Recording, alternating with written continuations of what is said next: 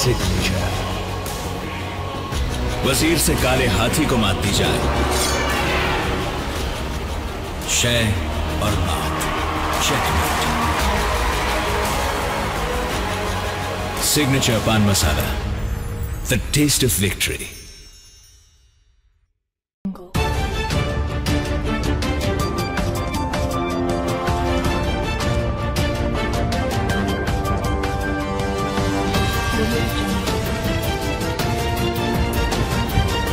आप देख रहे हैं एडीआई न्यूज़ सच के साथ लगातार। नमस्कार, मैं हूँ जय त्रिपाठी और आप देख रहे हैं एडीआई न्यूज़ सच के साथ लगातार। आज लखनऊ में राजाजीपुरम के कोठारी बंदूक पार्क के पूर्णा मंदिर में एक विशाल भव्य हवन का आयोजन किया गया, जिसको बालाजी महासभा के द्वारा आयोजित किया गया, जो राम मंदिर में लगातार अड़चने आ रही जो कि राम भव्य मंदिर का निर्माण नहीं हो पा रहा है। आखिर क्यों नहीं हो पा रहा? ये बहुत बड़ा एक सवाल था इसमें बालाजी महासभा ने आगे बढ़कर एक हवन यज्ञ का कार्यक्रम किया कि जो बाधाएँ हैं इससे बाधाएँ दूर हो जाएँ और जल्द से जल्द राम मंदिर का भव्य निर्माण मंदिर प्रारंभ को सदा पखारू। सदा पखारो। हे राजा राम तेरी आरती उतारू। हे राजा राम तेरी आरती उतारो। आरती हनुमत के मन भावे। आरती हनुमत के मन भावे। राम कथा नित शिव जी गावे राम कथा नित शिव जी गावे। मैं सुन सुन निज जन्म सवारू।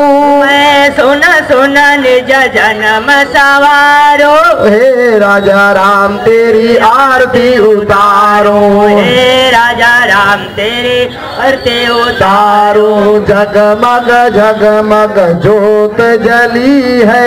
जगमग जगमग ज्योत जली है राम जी की आरती होने लगी है। राम जी की आरती होने लगी है। है भक्ति का दीपक प्रेम की बाती। भक्ति का दीपक प्रेम की बातें। आरती भक्त करे दिन राती। आरती भक्त करे दिन राति। प्रेम की सरिता बहने लगी है। प्रेम की सरिता बहने लगी है। राम जी की आरती होने लगी है। राम जी की आरती होने लगी है। राम जी की आरती होने लगी है। राम जी की आरती होने लगी है। हनुमान जी की आरती करेंगे हनुमान जी की। आज हमारे साथ बालाजी महासभा की सुरक्षिका एवं भारतीय जनता पार्टी महिला मंडल की नगर अध्यक्ष लखनऊ की, हमारे साथ में जया शुक्ला जी। आज इन्होंने इस भव्य हवन आयोजन में बहुत ही बालाजी महासभा को समर्पित पूरा समर्थन दिया है। आइए जानते हैं और विस्तृत जानकारी लेते हैं राम मंदिर के बारे में तथा इस भव्य हवन के बारे में। राम जी तो हमारे आराध्य हैं और हिंदुओं के लिए आस्था का विषय है कि अयोध्या में मंदिर बनना चाहिए। और बनेगा भी। भव्य मंदिर का निर्माण होगा अयोध्या में। लेकिन सुप्रीम कोर्ट के आदेश से ही जो भी है मामला, वो सब सुप्रीम कोर्ट में है। सभी जानते हैं, जैसा कोर्ट का आदेश होगा वैसा देगा। आज हमारे साथ बालाजी महासभा के राष्ट्रीय अध्यक्ष एवं संस्थापक शैलेंद्र तिवारी जी हैं। जिन्होंने राम मंदिर निर्माण है जो व्याधाएँ आ रही थी और अड़चने आ रही थी, उसके लिए यहाँ पे विशाल भव्य हवन यज्ञ का आयोजन किया था, जिसमें बालाजी महासभा पूरा समस्त परिवार लगा हुआ था। और इसी तरह वो चाहते हैं ये प्रखंड ज्योत जगह जगह जलती रहे और इसी तरह हवन यज्ञ। एक बार राम मंदिर निर्माण के बाद उस भव्य राम मंदिर के अंदर भी आयोजित किया जाए। आज हमारे साथ राष्ट्रीय अध्यक्ष शैलेंद्र तिवारी जी। आइए, जानते हैं विस्तृत इनसे इस जानकारी। जय श्री बालाजी। आज ये हवन बालाजी महासौदा किया गया है इसका मुख्य उद्देश्य हनुमंत लाल की शरण में जाके हम लोग ये पूजा कर रहे हैं, अर्चना कर रहे हैं उनसे जब हनुमंत लाल जी लंका पार करके माता सीता जी का पता लगा सकते थे। जब श्री रामचंद्र जी के सारे कार्य उन्होंने निवारित किए। तो इस कलयुग में प्रधान देव जो हनुमंत लाल जी हैं जो साक्षात विराजमान हैं। हम सभी लोग मिलकर उनकी पूजा आराधना करते हैं और ये यज्ञ किया गया है कि, हे प्रभु, हम आपके शरण में हैं। हिंदू धर्म का जो ये आस्था का विषय है।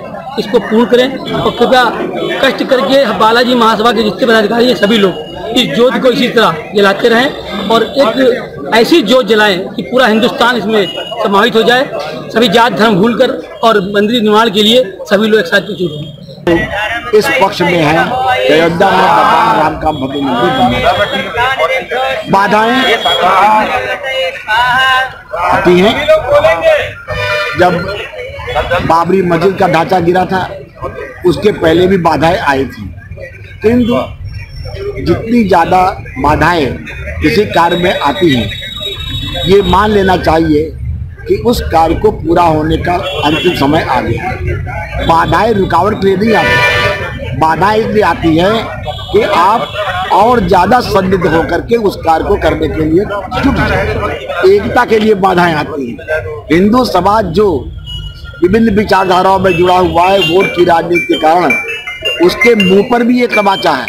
अगर विपक्ष ये चाहता है कि अयोध्या में भगवान राम का भव्य मंदिर बने तो सारा विपक्ष, मैं चुनौती देता हूँ, एक प्रस्ताव पास कर दे कि हम अयोध्या में भगवान राम के मंदिर बनाने के पक्ष में हैं। केवल वोटों की राजनीति करके, नौजवानों को भ्रमित करने का कार्य वो कर रहे हैं, ये कार्य अब हिंदू समाज नहीं समझ समझ चुका है और ऐसा कोई कार्य नहीं होगा। जो सरकार राम मंदिर के पक्ष में कार्य करने के लिए तैयार है। कानूनी बाधाएँ होती हैं। कोई चुनी हुई सरकार, कोई संवैधानिक संस्था ऐसा काम नहीं कर सकती जो सुप्रीम कोर्ट की अवमानना की परिभाषा में आता। केवल यही एक बाधा है।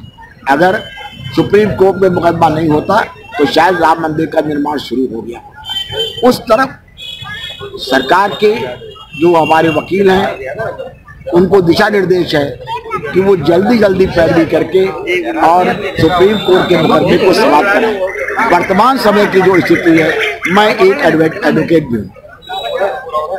दूसरी बात है, मैं अयोध्या का रहने वाला हूँ। मूलतः मैं अयोध्या का रहने वाला हूँ। यहाँ पर लखनऊ में आकर के बस गया। जजों ने फैसला किया, उन्होंने ये फैसला किया है कि जहाँ पर भगवान राम लला विराजमान हैं, वो उसी ज़मीन पर वो गर्भगृह है और वहीं पर मंदिर का निर्माण हो। राम जय राम जय जय राम में तेरह अक्षर है। और ये बीज मंत्र है। इसका ज्ञान लोगों को नहीं है। तेरह अक्षर की श्री राम जय राम जय जय राम के अंदर है। और ये बीज मंत्र आप कोई पूजा न करिए। कोई पाठ न करिए। केवल श्री राम जय राम जय जय राम का आप मंत्र का जाप करें। ये सबसे बड़ा जाप है। और इस जाप से सारे कार्य कार्य होते हैं उनमें सिद्धता प्राप्त होती है।